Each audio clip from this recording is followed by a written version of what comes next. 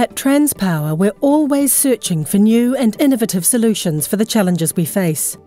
We work hard to find solutions that provide real value to the people of New Zealand, solutions that benefit communities far and wide. One challenge we're facing is demand for electricity reaching the maximum capacity of transmission lines in a few of our regions. In some of those places, essential maintenance can temporarily limit the amount of electricity we are able to transport to local lines companies. In turn, constrained supply of electricity can lead to high prices and reduced availability. So, how do we keep the lights on for those affected? An expensive solution is to build more lines and towers, but it doesn't make sense to do this if capacity is only a temporary issue during maintenance works. It also doesn't make sense to build more lines and towers if a region's electricity demand isn't expected to grow for many years.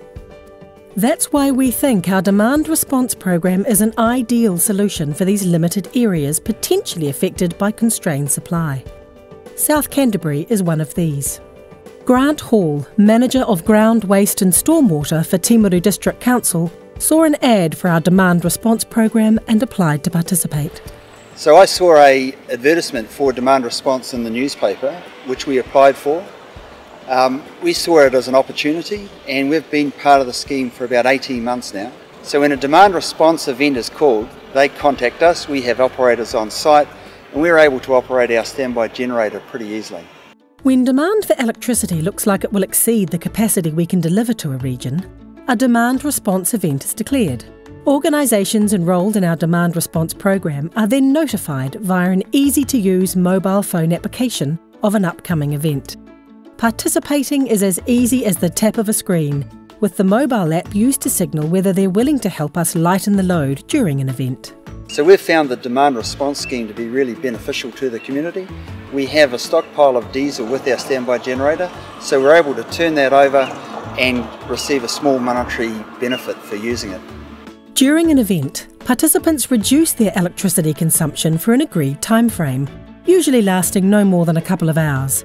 They also have the option of using any on site generators to produce their own electricity during events, meaning they can continue with business as usual. But it's not just district councils taking part in the program. Just south of Timaru, Craig Evans manages the region's largest cooperative irrigation scheme. For him, taking part in the program is more than just business sense. It's about what's good for the community. Morven Glenavy Irrigation joined the Transpower Demand Response Program because we saw it as a great opportunity to earn extra revenue uh, from shutdown periods and we equally saw it as an opportunity to um, reduce the likelihood that our shareholders would be restricted during those peak power events. Demand response isn't the answer for every situation, Sometimes it makes sense to invest in national grid infrastructure for a region, especially where there is high growth. But it does help lighten the load for communities. If your organisation is a mid to large user of electricity and you think you'd be a good candidate for our demand response program, we'd love to hear from you. Visit our website for the latest information and details on how you may be able to apply. And thank you for helping us lighten the load.